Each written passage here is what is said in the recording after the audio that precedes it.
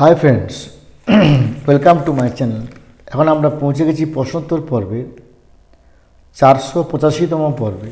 আজ প্রথম প্রশ্ন করেছেন সৈকত মণ্ডল। উনি বলছেন, আমি প্রাইমারি স্কুলের এটি, চাকরি হয়েছে পাঁচ বছর। আমার স্কুলে টিআইসি এবং চারজন অ্যাসিস্ট্যান্ট টিচার একজন প্যারাকে নিয়ে মোট ছজন শিক্ষক। স্টুডেন্ট একশো তিয়াত্তর জন। ডিস্টেন্সের জন্য ইন্টার ডিস্ট্রিক্ট ট্রান্সফার পাবো? দেখুন উৎসশ্রীতে আজ পর্যন্ত ডিস্টেন্স গ্রাউন্ড বা ডিস্টেন্সের জন্য কোনো প্রায়োরিটি নেই।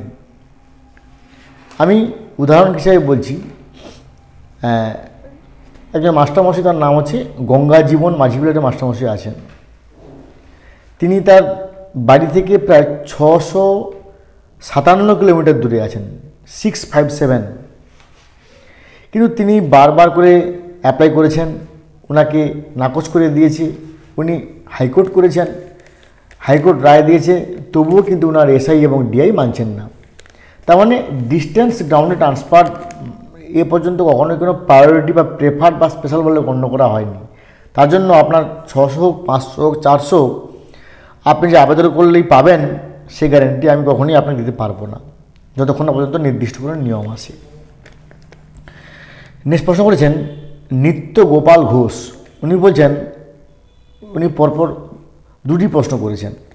প্রথম প্রশ্ন হচ্ছে, আমি প্রাইমারি স্কুলের অ্যাসিস্ট্যান্ট টিচার আমার হার্ট ডিজিজ আছে মেডিকেল গ্রাউন্ডে অ্যাপ্লাই করি, কিন্তু এনি আদার গ্রাউন্ড হয়ে গেছে, এবং এসেই বারবার ব্যাক করছেন। দেখুন, আপনার প্রথম প্রশ্নটা আমি ঠিক মানে কীটা বলতে চাচ্ছেন আমি ঠিক বুঝতে পারছি না। আপনি একবার বলছেন যে আপনার হার্ট ডিজিজ আছে, আপনি মেডিকেল গ্রাউন্ডে অ্যাপ্লাই করেছেন। যদি মেডিকেল গ্রাউন্ডে আপনি অ্যাপ্লাই করেন, তার সেটা এনি আদার গ্রাউন্ডে কী করে ট্রান্সফার হবে? তার মানে কি আপনি এনি আদার গ্রাউন্ডে গিয়ে মেডিকেল গ্রাউন্ডে করেছিলেন? কারণ মেডিকেল গ্রাউন্ড মানে তার সমস্ত কিছু ভাগ করা আছে।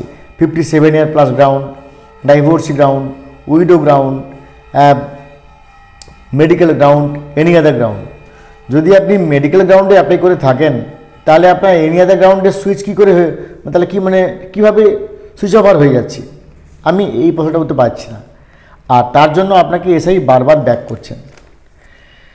এসআই প্রথমবার ব্যাক যখন করেন, তখন নিশ্চয়ই আপনাকে কোনো ভ্যালিড রিজিন দেখিয়েছেন।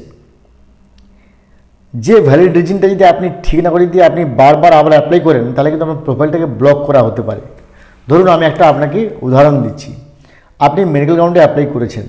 কোনো ডকুমেন্টস আপনি অস্পষ্ট দিয়েছেন? কিংবা কোনো ডকুমেন্টস ক্যামেরায় ফটো তুলতে গিয়ে কোনো কোন কেটে গেছে কিংবা তার নানা রকম তার মধ্যে কোনো ডিসক্রিপেন্সি আছে? আপনাকে এসআই কমেন্ট দিয়ে বলল যে please upload the valid documents আপনি ওই কমেন্টটাকে না শুনে আবার অ্যাপ্লাই করলেন, আবার ব্যাক করল, আবার অ্যাপ্লাই করলেন। এরপরে কিন্তু আপনাকে ব্লক করে দেবে। কারণ আপনাকে যখন একই রকম জিনিস আপনাকে বলা হচ্ছে ঠিক করার কথা, আপনি ঠিক না করে বারবার অ্যাপ্লাই করছেন একই জিনিস, তখন কিন্তু আপনার প্রোফাইলটাকে ব্লক করে দেওয়া হতে পারে। তাই এসআই আপনাকে ব্যাক করছে কেন? এইটা আগে জানতে হবে। প্রথম কথা। দ্বিতীয় কথা, আপনি মেডিকেলে অ্যাপ্লাই করেছেন, অথচ এনিয়াদের গ্রাউন্ডে হয়ে যাচ্ছে কেন? এই ব্যাপারটা আপনি আমাকে ক্লিয়ার করে বলুন, তাহলে আমি আপনাকে মানে উত্তর দিতে আমার খুব সুবিধা হবে। উনি আরেকটি প্রশ্ন করেছেন এখন কি উচ্চশিতে অ্যাপ্লাই হবে? না। পয়লা জানুয়ারি দু হাজার তেইশ আসুক, বা তার আগে যদি কোনো নির্দিষ্ট পরিকল্পনা বা যদি কোনো নির্দিষ্ট আইন বেরোয় অর্ডার বেরোয়, তাহলে অবশ্যই আমি আমার চ্যানেলের মানে থ্রু দিয়ে এটাকে কনভে করব। কিন্তু এই মুহূর্তে উচ্চশ্রীতে কোনোভাবে অ্যাপ্লাই না করাটাই ভালো। কারণ তখন যেহেতু গভর্নর সই করে এটাকে নোটিফিকেশন করে বন্ধ করা আছে, তাই এই মুহূর্তে অ্যাপ্লাই করলে নো ম্যানস ল্যান্ডে পৌঁছে যাবেন। না এগোতে পারবেন না পিছোতে পারবেন। প্রশ্ন করেছেন, শিপ্রা মণ্ডল। উনি বলছেন, নিয়োগ নিয়ে কথা বলুন। কত বছর নিয়োগ হয়নি? তার উপরে ভুয়ো মেডিকেল দূরের টিচার দিয়ে ট্রান্সফার পাবো না বা আমরা পাইনি। দেখুন শিপ্রা ম্যাডাম, আমি নিয়োগ নিয়ে কথা কি করে বলতে পারি? আমি আমার চ্যানেলের থ্রুতে নিয়োগ নিয়ে কথা কি করে বলতে পারি? সেটা তো সরকার বাহাদুরের ব্যাপার। তাই এই ব্যাপারে কখনোই আমার কিছু বলার নেই। তবে দূরের টিচার ট্রান্সফার আমি আমার চ্যানেলের থ্রু দিয়ে বারবার একটা মানে কি সরকারের কাছে পৌঁছে দিয়েছি যে দূরের টিচারদের কি সমস্যার যন্ত্রণা, আমি বারবারই আমার চ্যানেলের থ্রু দিয়ে এটাকে কনভে করছি। এবার সরকার যদি নিয়োগ না করে, এই বিষয়ে আমাদের কিছু করা থাকে না। প্রশ্ন করেছেন, সুব্রত ঘোষ। উনি বলছেন, চাকরি পাঁচ বছর পঁয়তাল্লিশ দিন হয়েছে। আমি গ্রুপ ডি পিওন ফার্স্ট জানুয়ারি দু হাজার তেইশ এনি আদার গ্রাউন্ডে জেনারেল ট্রান্সফারের জন্য অ্যাপ্লাই করতে পারব? দেখুন, যে দু হাজার পনেরো সালের জেনারেল ট্রান্সফার রুলসের তার কিন্তু কোথাও গ্রুপ ডি বা গ্রুপ সি বা লাইব্রেরিয়ান বা নন টিচিং স্টাফ কী করে ট্রান্সফার নেবেন, তার কোনো পুঙ্খানুপুঙ্খ ব্যাখ্যা দেওয়া নেই। অর্থাৎ মেডিকেল গ্রাউন্ডে কীভাবে নেবেন তার কিন্তু এবারে পুঙ্খানুপুঙ্খ বর্ণনা দেওয়া আছে। সে নন টিচিং হোক গ্রুপ সি হোক গ্রুপ ডি হোক লাইব্রেরিয়ান হোক। কিন্তু এনি আদার গ্রাউন্ডে গ্রুপ সি বা গ্রুপ ডি বা লাইব্রেরিয়ান কী করে নেবেন বা নন টিচিং স্টাফ কী করে ট্রান্সফার নেবেন, তা কোনো রূপরেখা নেই। রূপরেখা নেই মানে সেটা চলে যাচ্ছে ওই লগ ইনের ইনচার্জের কাছে। অর্থাৎ এইচওআই বা টিআইসি বা এইচএম যিনি আছেন আপনার বিদ্যালয়ে, তিনি যে, তিনি হচ্ছেন ওই ফার্স্ট লগ ইন ইনচার্জ তার সম্পূর্ণ ডিসক্রিপশনারি পাওয়ার আপনি আপনার সঙ্গে সঙ্গে আপনাকে প্রথম চাবিটা আছে ওনার কাছে। আপনাকে এনওসি দেবে কি না এটা সম্পূর্ণ ওনার ডিসক্রিপশনারি পাওয়ার বা স্বেচ্ছাধীন অধিকার আইন। কারণ যেহেতু উচ্চশিতে দু সাল বা দু একুশ বা দু বাইশ কোথাও পরিষ্কার করে বলা নেই যে non teaching staff any other গ্রাউন্ডে ট্রান্সফার নেবেন, কোন সূত্রে, কীভাবে, কী বৃত্তান্ত সম্পূর্ণ চলে যাচ্ছে এইচওআই বা টিআইসি বা এইচএফের উপর। তিনি তার পার্সোনাল ভেটো আইন প্রয়োগ করে ডিসক্রিপশনারি পাওয়ার অবলম্বন করে আপনাকে তিনি ছাড়তে পারেন না ছাড়তে পারেন। এই নিয়ে কোনো ডিআই অফিস কোনো কিছু মন্তব্য করতে পারে না। হ্যাঁ তবে যদি আপনি মেডিকেলে করেন, সেক্ষেত্রে এইচওআই বা টিআইসি বা এইচএফ আপনাকে ছাড়তে বাধ্য। নেক্সট প্রশ্ন করেছেন, অভিজিৎ বসাক।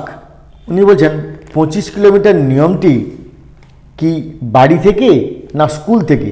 এটা নিয়ে প্রচণ্ড ধন্দে আছি। কেউ বলছে বাড়ি থেকে, কেউ বলছে স্কুল থেকে। এটা ওখানে খুলে বলুন তো। খুলে বলা কিছু নেই ভাই।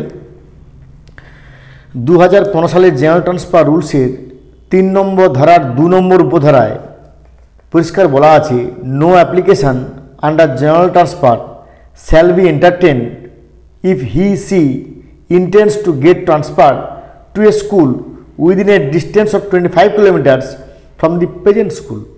অর্থাৎ ডিস্টেন্সটা হচ্ছে প্রেজেন্ট স্কুল থেকে পোস্টেড স্কুল দেখা যাবে হয়তো আপনার যে স্কুলে আপনি ট্রান্সফার নেবেন, সে স্কুল থেকে আপনার বর্তমান স্কুলের ডিস্টেন্স হচ্ছে একশো কিলোমিটার। কিন্তু প্রেফার্ড স্কুল বা যে স্কুলে আপনি ট্রান্সফার নিয়ে মানে নিতে চাইছেন, সে স্কুলটা হয়তো আপনার বাড়ির কান্দুলে কিংবা আপনার বাড়ির একশো মিটারের দূরে, পঞ্চাশ মিটারের দূরে ইট ডাজেন্ট ম্যাটার এটা কোনো ব্যাপার নেই। কারণ ডিস্টেন্সটা হচ্ছে আপনার মানে present school to posted school এটা দু হাজার পনেরো সালে জেনারেল ট্রান্সফার রুলসের তিন নম্বর ধারার দু নম্বর উপধারায় লেখা আছে। নেক্সট প্রশ্ন করেছেন সুজিত বিশ্বাস। উনি বলছেন যে সিঙ্গেল টিচারদের ট্রান্সফার নিয়ে কথা বলুন ও নিয়োগ নিয়ে কথা বলুন। ভাই সিঙ্গেল টিচারদের এ পর্যন্ত আর কোনো নিয়মই নেই। লোকাল অ্যারেঞ্জমেন্ট থিওরি ছাড়া আর এ পর্যন্ত কোনো নিয়ম নেই। ফার্স্ট জানুয়ারি দু হাজার তেইশ যেহেতু আবার উৎসশ্রী খুলবে, আমরা সবাই আশা করে থাকব যে যিনারা সিঙ্গেল টিচার বা যিনারা দূরবর্তী শিক্ষক, তাদের হয়ে কিছু করুক বা তাদের জন্য অত্যন্ত তাদের তাদের মুখে হাসি ফুটুক, এই কামনা করব। আর সিঙ্গেল টিচারদের নিয়ে এর বেশি আমি আর কি বলতে পারি? সরকার ভাবে যদি কোনো কিছু নির্দিষ্ট নিয়ম না বের করে এই বিষয়ে আমাদের অন্য কিছু ব্যাপার নেই। প্রশ্ন করেছেন, সুমনা হেমরম উনি বলছেন যে ট্রান্সফার কি ফার্স্ট জানুয়ারি থেকে মানে ফার্স্ট জানুয়ারি দু হাজার তেইশ থেকে অবশ্যই হবে? ভাই, এই এই সব প্রশ্নগুলোর নাম হচ্ছে ভাব বাচ্চে প্রশ্ন। পয়লা জানুয়ারি দু হাজার তেইশ থেকে এখানে বলা ছিল যে থার্টি ফার্স্ট ডিসেম্বর দু বাইশ পর্যন্ত বন্ধ থাকল temporary suspended or until further order অর্থাৎ ফার্দার অর্ডার না আসা পর্যন্ত যে দেখা গেল একত্রিশে ডিসেম্বরের আগে একটা নতুন একটা নিয়ম বেরিয়ে গেল যে না, আপাতত একটা জানুয়ারি পর্যন্ত বন্ধ থাকবে, কি ফেব্রুয়ারি পর্যন্ত বন্ধ, কি মার্চ পর্যন্ত বন্ধ, তা বন্ধ থাকবে। ফলে সরকারের উপর নির্ভর করছি এর পরবর্তী পদক্ষেপ কী হবে। তো ফ্রেন্ডস আজ এ পর্যন্ত, ভালো থাকুন have a good day thanks